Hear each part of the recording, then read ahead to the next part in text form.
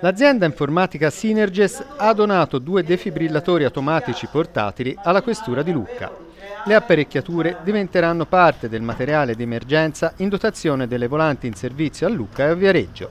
La consegna è avvenuta alla presenza del questore, la dottoressa Alessandra Faranda Cordella e del dirigente della squadra volanti Fabio Scalisi, a cui il responsabile della Synerges Marco Vannucchi ha consegnato le apparecchiature.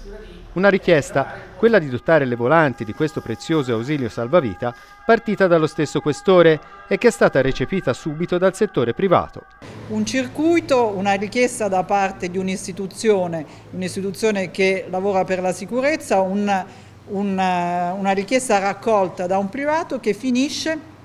poi nell'interesse della comunità e quindi credo che questa sia una grandissima dimostrazione di sinergia e soprattutto di entusiasmo e di amore per il territorio. Qualche volta ci siamo concentrati su aspetti legati al sociale, in questo caso quando siamo venuti a sapere tramite Marianne che è un'amica comune di questa volontà, di questo desiderio da parte della Questura,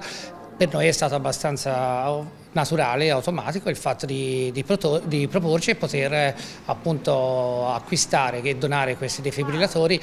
Alla consegna delle apparecchiature era presente anche la dirigente dell'ufficio sanitario della Questura di Lucca, Allegra Cammi, che ha sottolineato il fatto che il personale della Questura è già in buona parte addestrato all'utilizzo dei defibrillatori e che le esercitazioni vengono svolte proprio con il modello che è stato donato alla Questura.